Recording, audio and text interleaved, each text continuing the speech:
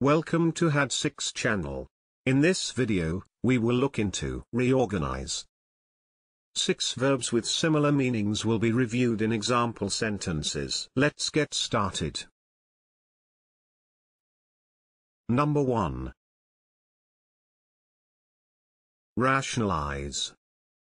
Which means reorganize a process or system so as to make it more logical and consistent.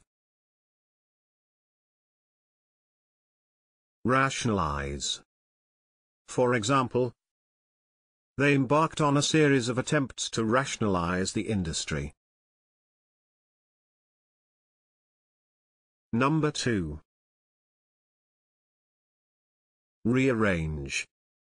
Which means change the position, time, or order of something. Rearrange.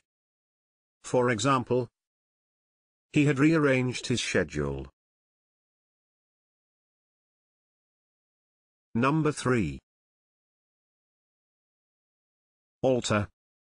Which means change in character or composition, typically in a comparatively small but significant way.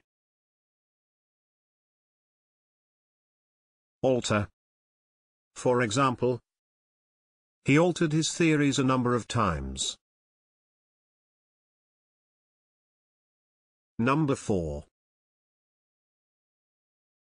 Reconstruct. Which means reorganize something. Reconstruct. For example, later emperors reconstructed the army.